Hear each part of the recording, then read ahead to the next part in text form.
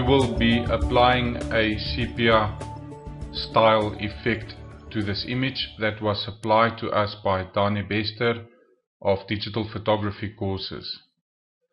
First step would be to go to layers and we will create a copy, background copy of the original.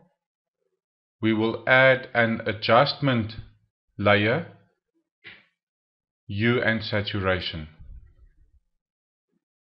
You have to click the colorize box and we will create a sepia effect. I find that round about 40 hue and about 35. Saturation will give us a very good sepia effect. This is normally what a traditional sepia would look like, but this is not what we're after. We are after something that has got a mix of color still in it.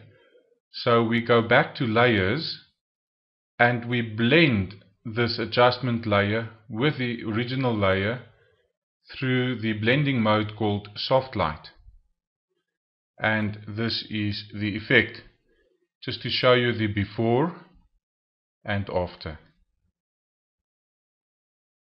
Before and after if the shadow areas seems to be a little bit too dark all you do is you add another adjustment layer levels.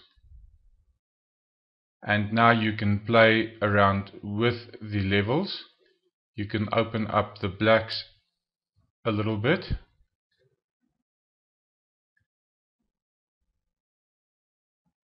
And that will take care of the shadow areas.